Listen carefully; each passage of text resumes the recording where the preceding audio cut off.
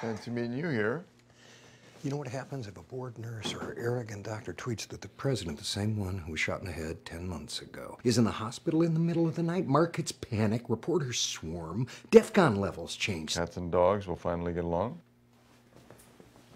Sir, you have no idea how much damage control this requires. The lies I've had to tell James Madison in order to replace their staff on this floor with military personnel who won't tell the New York Times that the President of the United States is here on a late night booty call. I'm here. I'm staying here until Olivia is discharged because that's what you do when someone you love is in the hospital. You're welcome to wait here with me, run whatever kind of interference you think is best, but I'm here.